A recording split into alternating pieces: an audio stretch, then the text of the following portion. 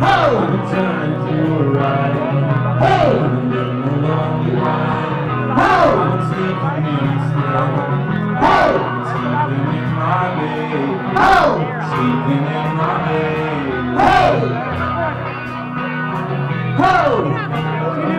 I'm a lonely I'm your family? Oh, the blood that I will